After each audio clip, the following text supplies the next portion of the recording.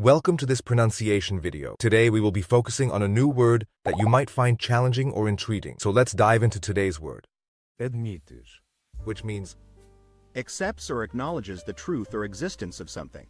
let's say it all together. admites, admites, admites, One more time. admites, admites, admites.